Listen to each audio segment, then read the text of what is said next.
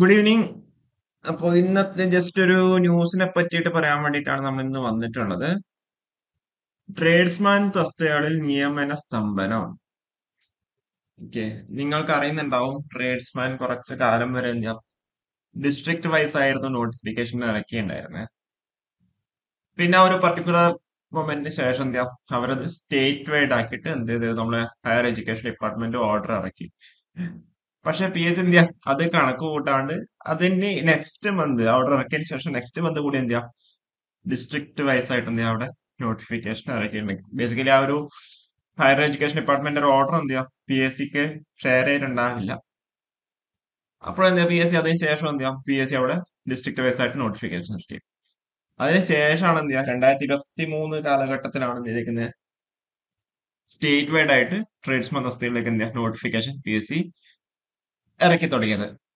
അപ്പൊ അതിലുള്ള ന്യൂസ് എന്ന് വെച്ചാൽ ട്രേഡ്സ്മാൻ തസ്തികളിൽ നിയമന സ്തംഭനം.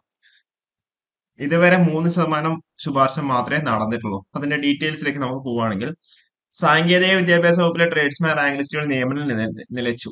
പതിനേഴ് ട്രേഡുകളിലായി നിലവിലുള്ള റാങ്ക് ലിസ്റ്റുകളിൽ ഉൾപ്പെട്ട രണ്ടായിരത്തി നാൽപ്പത്തി അഞ്ച് പേരിൽ അമ്പത്തി ആറ് പേർക്ക് മാത്രമേ നിയമന ശുപാർശ ലഭിച്ചിട്ടുള്ളൂ. അതായത് മൂന്ന് ശതമാനം മാത്രമാണ് നിയമന ശുപാർശ. ഇതിൽ നാൽപ്പത്തൊമ്പത് ഒഴിവ് വിജ്ഞാപന സമയത്ത് തന്നെ പി എസ് സിയിൽ റിപ്പോർട്ട് ചെയ്തിരുന്നവയാണ്. റാങ്ക് ലിസ്റ്റ് നിലവിൽ വന്ന ശേഷം വന്നത് ഏഴ് ഒഴിവ് മാത്രം. ജില്ലാതല നിയമനം സംസ്ഥാനത്തിലാക്കിയതാണ് ട്രേഡ്സ്മാൻ റാങ്ക് ലിസ്റ്റുകളെ നിയമന നിരോധന സാഹചര്യത്തിന് കാരണം. ഉന്നത വിദ്യാഭ്യാസ വകുപ്പ് രണ്ടായിരത്തി ഇരുപത് ജൂൺ പത്തിന് പുറത്തിറക്കിയ ഉത്തരവ് പ്രകാരമാണ് നിയമനം സംസ്ഥാന തലത്തിലാക്കിയത്. ഇത് പരിഗണിക്കാതെ പി എസ് സി എന്ത് രണ്ടായിരത്തി ഇരുപത്തി ഒന്ന് ഡിസംബർ മുപ്പത്തൊന്നിന് ജില്ലാതല നിയമനത്തിന് വിജ്ഞാപനം വീണ്ടും എന്ത് ചെയ്തു? പ്രസിദ്ധീകരിച്ചു.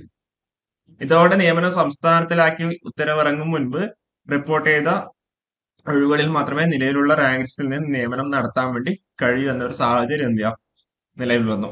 അപ്പൊ അങ്ങനെയാകുമ്പോൾ ഇതിന് ശേഷമുള്ള ഒഴിവുകൾ സംസ്ഥാന തലത്തിൽ തയ്യാറാക്കുന്ന റാങ്ക് ലിസ്റ്റിൽ നിന്ന് നികത്തുമെന്ന് റാങ്ക് ലിസ്റ്റിൽ ഉൾപ്പെട്ടവർക്ക് വലിയൊരു ആഘാതമായിട്ട് മാറിയിട്ടുണ്ട്. നിങ്ങൾക്കറിയാം ഇലക്ട്രിക്കലിന്റെ കേസിലാണെന്നുണ്ടെങ്കിലും ഒക്കെ എന്താ ട്രേഡ്സ്മാൻ ഇലക്ട്രിക്കലിന്റെ ഒക്കെ എക്സാം കഴിഞ്ഞിട്ടുണ്ടായിരുന്നല്ലോ കഴിഞ്ഞ ഏപ്രിൽ നിയമന നിരോധനം ഒഴിവാക്കണമെന്ന് ആവശ്യപ്പെട്ട് റാങ്ക് ലിസ്റ്റിൽ ഉൾപ്പെട്ട മുഖ്യമന്ത്രി ഉന്നത വിദ്യാഭ്യാസ മന്ത്രി എന്നിവരുൾപ്പെടെയുള്ളവർക്കും പരാതി നൽകിയെങ്കിലും നിയമനം പുനരാരംഭിക്കാൻ നടപടികളൊന്നും നീങ്ങിയിട്ടില്ല.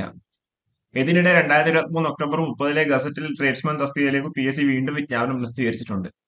സംസ്ഥാന തലത്തിൽ പ്രസിദ്ധീകരിച്ച വിജ്ഞാപനത്തിൽ വിവിധ ട്രേഡുകളിലെ നൂറിലേറെ ഒഴിവുകളാണ് റിപ്പോർട്ട് ചെയ്തിട്ടുള്ളത്. റാങ്ക് ലിസ്റ്റ് നിലയിലുള്ള ട്രേഡുകളിലേക്കും വിജ്ഞാപനം പ്രസിദ്ധീകരിച്ചിട്ടുണ്ട്.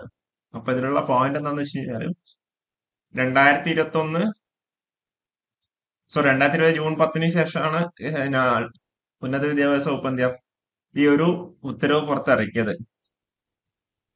അപ്പോ അതുവരെയുള്ള വേക്കൻസീസ് മാത്രമേ എന്ത് ചെയ്യുള്ളൂ? ഈ ഡിസ്ട്രിക്ട് വൈസ് റാങ്ക് ലിസ്റ്റ് എടുക്കാൻ വേണ്ടി പറ്റുന്നുണ്ടാവുള്ളൂ. അതുവരെ റിപ്പോർട്ട് ചെയ്ത വേക്കൻസീസ് ഈ രണ്ടായിരത്തി ഇരുപത് ജൂണിന് ശേഷം ജൂൺ പത്തിന് ശേഷം റിപ്പോർട്ട് ചെയ്ത വേക്കൻസീസ് ഒക്കെ എന്താ സ്റ്റേറ്റ് വൈഡ് ആയിട്ടായിരിക്കും എന്ത് ചെയ്യുന്നുണ്ടാവുക? വിളിക്കുന്നുണ്ടാവുക.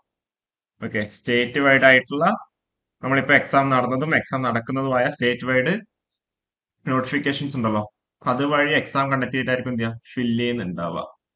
അപ്പോൾ ഇപ്പം നടന്ന എക്സാം അല്ലെങ്കിൽ ഇനിയിപ്പോ നടക്കാൻ വേണ്ടി പോകുന്ന ആ ഒരു സ്റ്റേറ്റ് വൈഡ് റാങ്ക് ലിസ്റ്റ് ആയിരിക്കും എന്ത് ചെയ്യുക? കൂടുതൽ വേക്കൻസീസ് റിപ്പോർട്ട് ചെയ്യുന്നുണ്ടാവുള്ളൂ. രണ്ടായിരത്തി ഇരുപത്തി ഒന്നിന് ശേഷമുള്ള വേക്കൻസി ഒക്കെ എന്ത് ചെയ്യുക? ആ ഒരു വിജ്ഞാപന വിജ്ഞാപനത്തിലേക്കായിരിക്കും പോകുന്നുണ്ടാവുക.